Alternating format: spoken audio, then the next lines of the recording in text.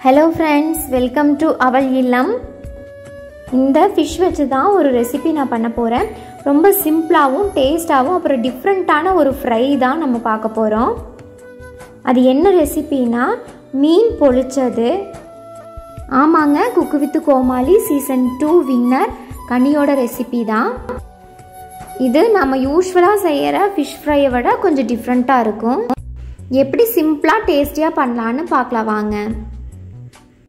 இந்த ரெசிபி பண்ணுறதுக்கு ஃபஸ்ட்டு மிளகாய் தூள் வந்து நம்ம காரத்துக்கு ஏற்ற மாதிரி ஒரு மூணு ஸ்பூன் நாலு ஸ்பூன் நம்ம எடுத்துக்கலாம். அப்புறம் மஞ்சள் தூள். அப்புறம் உப்பு. அப்புறம் ஒரு அரை லெமனை வந்து புழிஞ்சு விட்டுக்கலாம். அப்புறம் தேங்காய் எண்ணெய் ஒரு ரெண்டு ஸ்பூன் வந்து ஊற்றிக்கலாம் ஊற்றிட்டு நல்லா மிக்ஸ் பண்ணிக்கணும். இப்போ இது கட்டி கட்டியாக இருக்கிறதுனால கொஞ்சம் தண்ணி மிக்ஸ் பண்ணி நம்ம நல்லா பீட் பண்ணிக்கணும்.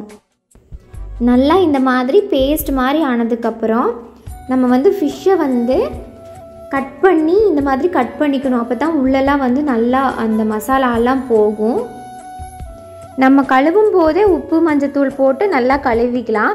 அப்படி கழுவுனோன்னா இந்த ஃபிஷ்ஷோட ஸ்மெல் வந்து போயிடும் இப்போது இந்த மாதிரி உப்பு மஞ்சள் தூள் மிளகாத்தூள் எல்லாம் நம்ம போட்டு ஒரு அரை மணி நேரத்துலேருந்து ஒரு மணி நேரம் வரைக்கும் வச்சிட்டோன்னா நல்லா வந்து அந்த உப்பு காரம்லாம் நல்லா அந்த ஃபிஷ்ஷில் பிடிச்சிக்கும். ஸோ நம்ம ஃப்ரை பண்ணும்போது நல்லா உள்ள எல்லாமே டேஸ்ட்டாக இருக்கும். இந்த மாதிரி நல்லா எல்லா பக்கமும் நம்ம அப்ளை பண்ணிட்டு ஒரு அரை மணி நேரம் நல்லா ஊற வச்சிடலாம் இந்த ஃபிஷ்ஷெல்லாம் ஊறிட்டுருக்கிற கேப்பில் இது தேவையான மசாலா வந்து நம்ம ரெடி பண்ணிக்கலாம்.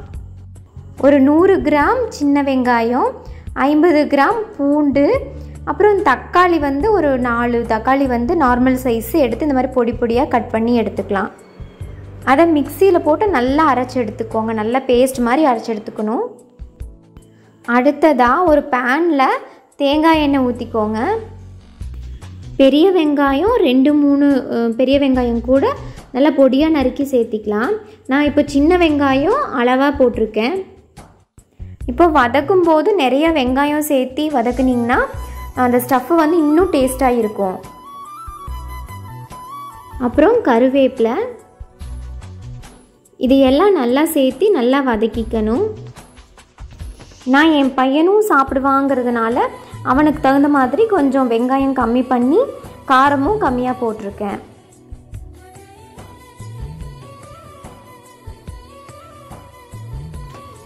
இது நல்லா வதங்கினதுக்கு அப்புறமா நம்ம சின்ன வெங்காயம் பூண்டு தக்காளி இதெல்லாம் சேர்த்து அரைச்சி வச்சிருக்கிற அந்த பேஸ்ட்டை வந்து இதில் மிக்ஸ் பண்ணிக்கணும். அந்த பேஸ்ட் போட்டதுக்கப்புறமா கொஞ்சம் தண்ணி கூட ஊற்றி அந்த பச்சை வாசனை போகிற வரைக்கும் நம்ம நல்லா வதக்கிக்கணும். இப்போ வந்து மிளகாய் தூள் வந்து நம்ம ஆட் பண்ணிக்கணும். உங்களுக்கு எவ்வளோ காரம் வேணுமோ அதுக்கு தகுந்த மாதிரி நீங்கள் ஆட் பண்ணிக்கலாம். அப்புறம் உப்பு சேர்த்திக்கணும்.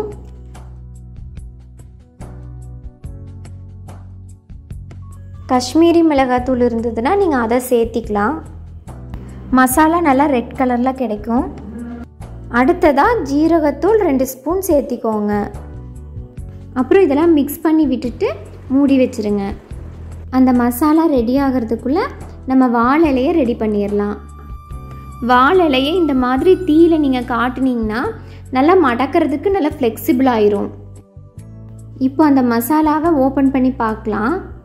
நல்லா இந்த மாதிரி கெட்டியாக ஆயிடணும் இந்த மசாலாவை நல்லா இந்த மாதிரி வதக்கி விட்டுட்டே இருங்க. அதில் வந்து லிக்விட் மாதிரி இருந்ததுன்னா அது நல்லா கெட்டி ஆகணும். இந்த மசாலாவை ஃபிஷ்ஷில் சேர்க்கறதுக்கு முன்னாடி நம்ம அந்த ஊற வச்சுருக்கிற அந்த ஃபிஷ்ஷை வந்து ஒரு பேனில் தேங்காய் எண்ணெய் ஊற்றி இந்த ஃபிஷ்ஷை வந்து நல்லா பொரிச்சு எடுத்துக்கணும். ரெண்டு சைடும் வந்து நல்லா பொரிச்சு எடுத்துக்கணும். தேங்காய் எண்ணெய் தான் ஊற்றி இந்த மாதிரி பொரிச்சு எடுக்கணும். ரெண்டு சைடும் திருப்பி போட்டு நல்லா இதை பொறிச்சு எடுத்துக்கணும்.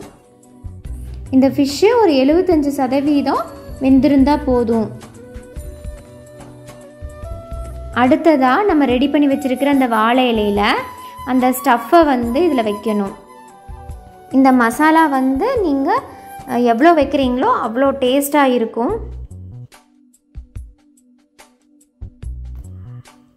அடுத்ததாக நம்ம பொறிச்சு வச்சுருக்கிற அந்த மீனை இந்த மசாலா மேலே வைக்கணும்.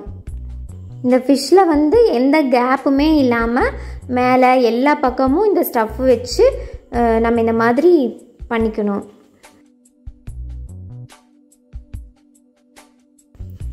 இந்த மாதிரி அந்த ஃபிஷ்ஷு ஃபுல்லாக இந்த ஸ்டஃப் வச்சு கவர் பண்ணிக்கணும். அதுக்கப்புறமா வாழை வச்சு மூடி வாழை நாரில் கட்டிக்கணும். இந்த மாதிரி வாழை நாரையும் வச்சு கட்டி திரும்ப எண்ணெய் தேங்காய் எண்ணெயில் வந்து திரும்ப இதை பொறிச்சு எடுத்துக்கணும். பொரிக்கும் போது இந்த பேனை மூடி வச்சு பொறிங்க இல்லைன்னா வாழை இலையில பொரிக்கிறதுனால இது நல் எண்ணெயெல்லாம் நல்லா வெளியில் தெரிக்கும். ரெண்டு சைடும் நல்லா திருப்பி போட்டு நல்லா பொரிச்சு எடுத்துக்கணும். இப்போ இது ரெடி ஆயிடுச்சு இப்போ இதை ஓப்பன் பண்ணி பார்க்கலாம் எப்படி இருக்குன்னு. இது பார்த்தாலே பயங்கரம் எம்மியாக இருக்குது டேஸ்ட்டும் அப்படிதாங்க சூப்பராக இருக்குது டேஸ்ட்டும் ரொம்ப நல்லா வந்திருக்கு. நான் இப்போ மீன் பொளிச்சது வித் ஆரஞ்சு ஜூஸ் நான் சாப்பிட போகிறேன் வீட்டில் நீங்களும் கண்டிப்பாக ட்ரை பண்ணி பாருங்கள் ரெகுலராக செய்கிற ஃபிஷ் ஃப்ரை விட இது ரொம்ப டிஃப்ரெண்ட்டான டேஸ்ட்டில் இருக்குது கண்டிப்பாக ட்ரை பண்ணிவிட்டு எப்படி இருந்ததுன்னு கமெண்ட்டில் சொல்லுங்கள் உங்களுக்கு இந்த ரெசிபி பிடிச்சிருந்ததுன்னா லைக் பண்ணுங்கள் ஷேர் பண்ணுங்கள் நம்ம சேனலை இப்போ தான் நீங்கள் ஃபஸ்ட் டைம் பார்க்குறீங்கன்னா சப்ஸ்கிரைப் பண்ணிக்கோங்க. அப்போ தான் நான் போடுற வீடியோ எல்லாம் உங்களுக்கு வரும். Thank you thank you